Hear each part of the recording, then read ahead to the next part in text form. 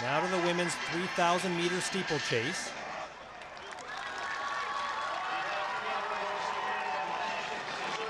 Here early in the race as they make their way around the first corner.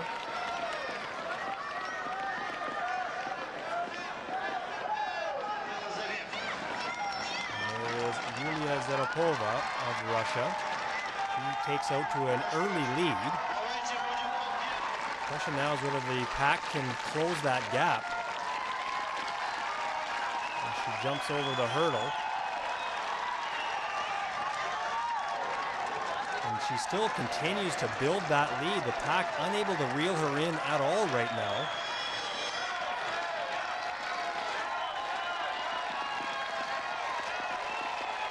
As they head down the back straight. Zaripova again as the pack makes its way through the water hazard. And in the end, no one can reel in the Russian. A new Universiade record, 9 minutes, 28 seconds. Svetlana Shmidt of Ukraine will take the silver medal, and Gulcan Mingir of Turkey will take the bronze.